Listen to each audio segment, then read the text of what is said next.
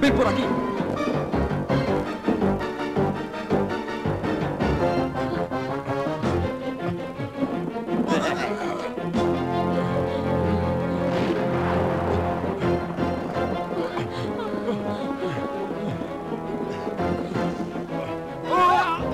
¿Estás bien?